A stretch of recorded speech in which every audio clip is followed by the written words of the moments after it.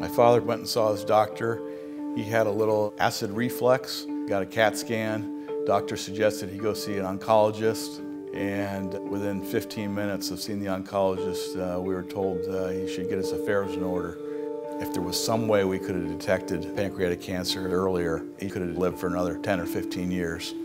A friend of mine referred me to Dr. Von Hoff at TGen, and it was a completely different experience. Unfortunately, the diagnosis wasn't any different, but Dr. Von Hoff took the time to explain to the family sort of the origins of pancreatic cancer. And the cancer can grow in your body for a long time and doesn't manifest itself until the last stages. And that's why early detection is so important.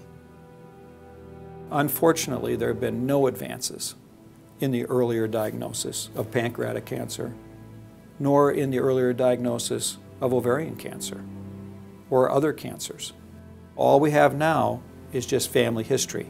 But with time, we will identify what are called bad luck genes. The key is identifying those bad luck genes and follow those folks who have those genes as closely as possible.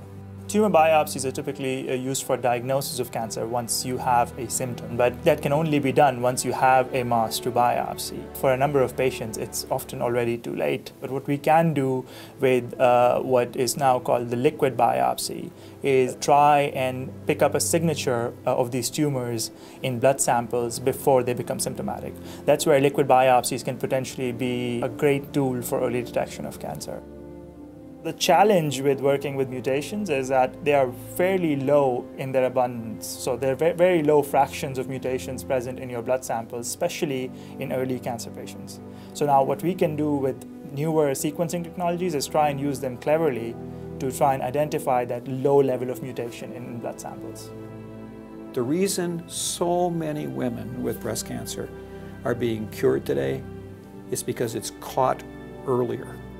Could be a blood test, could be a urine or a stool or a saliva or a breath test or something we haven't imagined yet. But we have pretty good evidence these blood tests are going to lead the way. After that, it might be something even simpler that we can actually follow every week and catch it as early as possible. TGen is on the cutting edge. This is the future of medicine, and early detection is so important. And that's why we've got to put our money into figuring out ways to discover this disease earlier.